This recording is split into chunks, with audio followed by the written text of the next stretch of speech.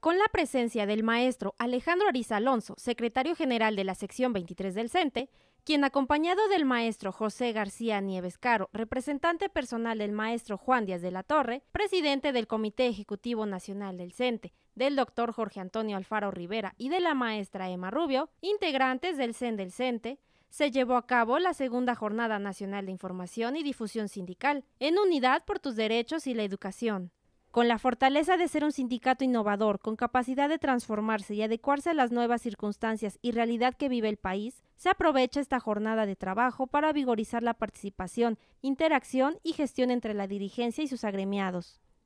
Asistieron en esta jornada de trabajo los maestros Jaime García Roque, secretario general de la sección 51 del CENTE, Ramiro Rosales Acevedo y Agustina Avilés Noguera, representantes del CEN del CENTE, quienes con la temática de los ejes estratégicos que rigen la vida sindical, motivaron la participación de los integrantes del Comité Ejecutivo de la sección 23.